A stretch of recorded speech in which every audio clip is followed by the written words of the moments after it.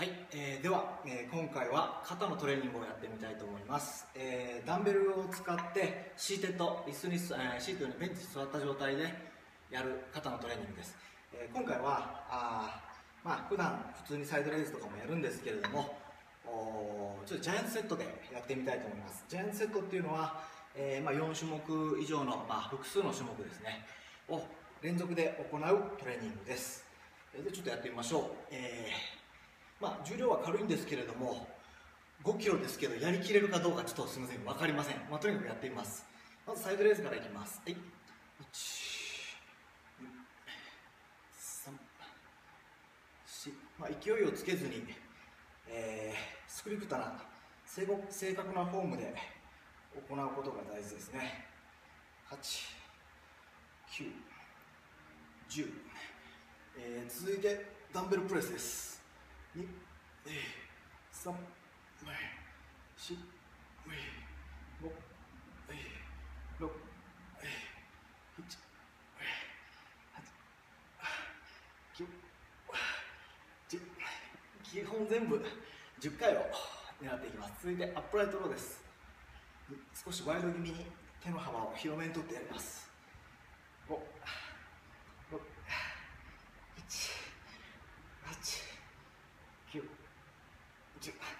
続いて、えー、ディアディアヘッドです。あえー、っとそうですね。リアヘッドです、えー、ベントオーバーリアレイズですね。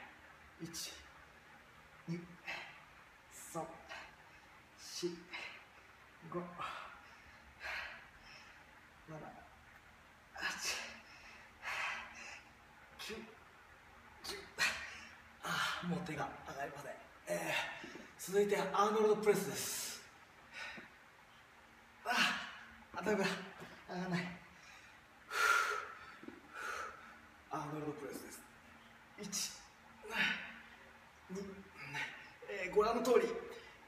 手首を返します。自分の手のひらが自分の方を向いている状態からスタートで上げた段階で逆音切りします。あ何回言ったか分かんない。こ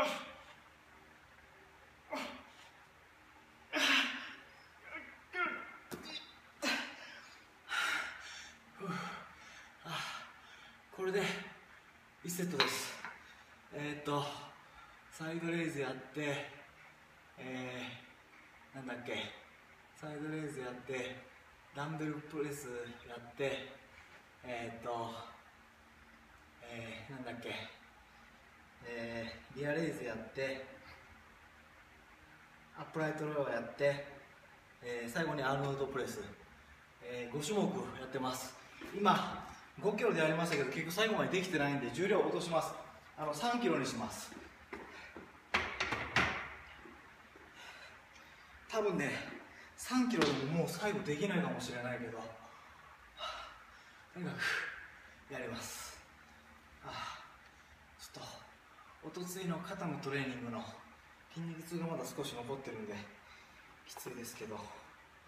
えー、っと肩のトレーニングの時も僕は握りすぎないようにパワーグリップで、えー、を使いながらやります、まあ、これ使うとこれがパワーグリップで握れる分、えー、あまり、えー、手をね使わずに添える程度でホールドできるんで。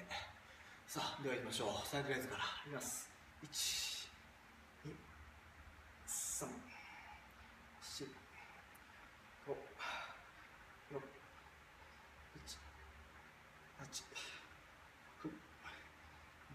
ダブルプレス1 2 3 5 1 8 9 10リアライズいきます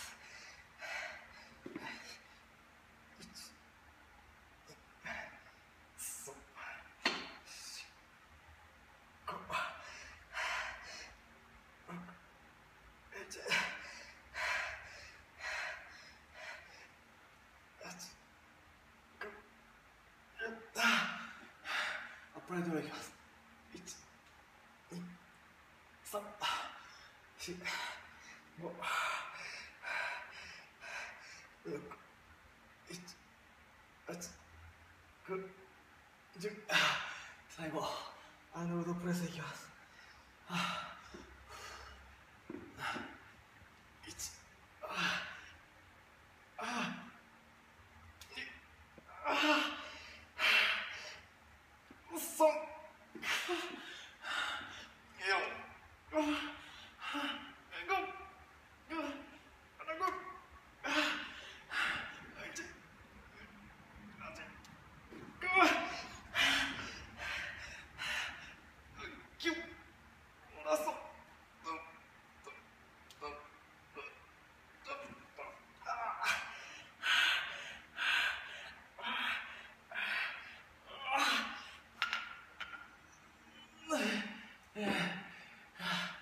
肩とか腕のトレーニは小さな筋肉は特にすごく、えー、痛みが走るんですね、えー、でやっぱり痛みが走ってからどれだけできるかっていうのがすごくポイントだと思うんで、えー、痛くなったところからもう一頑張りするといいです、えー、と言いつつ流れ的に3セットしないとダメだと思うんで3セットやります。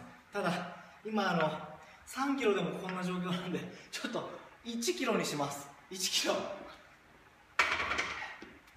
1キロで効くのかと思われると思うんですけれどもまあやってもらうと分かるんですがまあもちろん上級者はねもっと重い重量でいけると思うんですけどあの効きます。さすがにこれはパワーグリップなしでいきます。出ていきます。せーのそれ。12サイドレーズから345678910リアレーズいきます1 2のあ間違った4 5 6 1 9 10ああダンベルプレスだけだったねよしああ1これ絶対最後アーノルドプレスできねえよ。2 3わ4 5 6 7 8 9 10痛い痛いああパレテロああストップああ4ああ6ああ6ああ9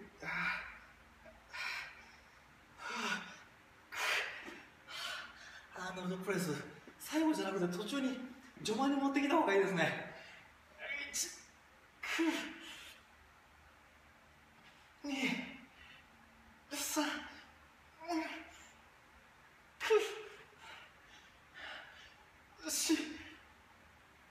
5 6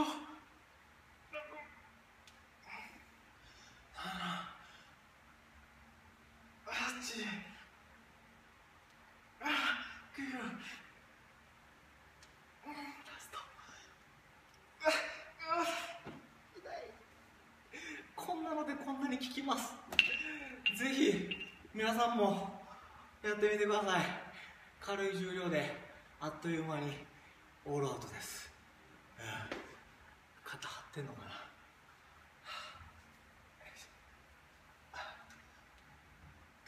こんな感じです。頑張ってみてください。